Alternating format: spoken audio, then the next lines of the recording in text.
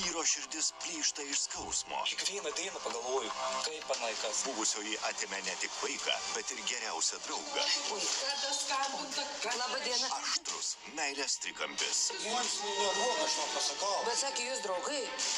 Šiandien pusę penktos per žiūrimiausią televiziją TV3.